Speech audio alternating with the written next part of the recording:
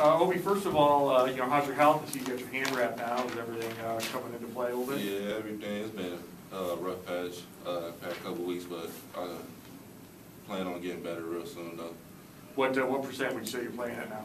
Uh, uh, I don't know. Are Uh, you close to hundred percent?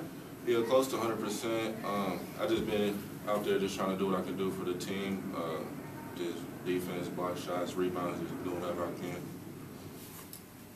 Jarrid, you came out shooting the, uh, final three-point shot early on. Was that something that you were uh, consciously trying to do, or did it just come to you as part of the offense, or what?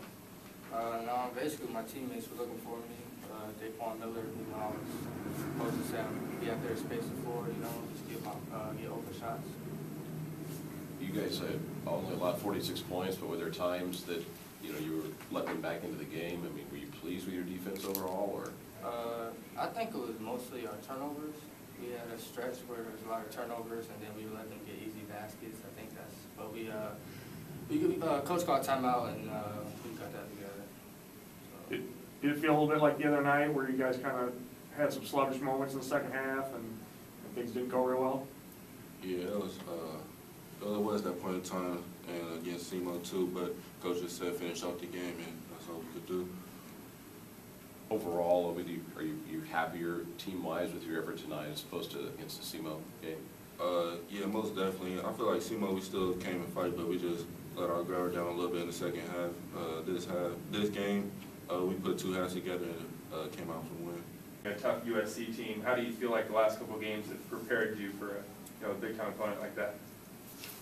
Oh, uh, You guys excited to go on the road and, and get this opponent? Yeah, we're excited to go on the road. Uh, I think this is a great opportunity for us. Uh, we're going to play a top twenty-five team, and, uh, I think we still got some things to work on, but I feel like, you know, overall, I think we'll be ready when we get, get to Vegas. And especially after this, how do you feel like the, kind of the non-conference schedule has prepared you for the Valley? I know you haven't been through it before, but Obi, you have.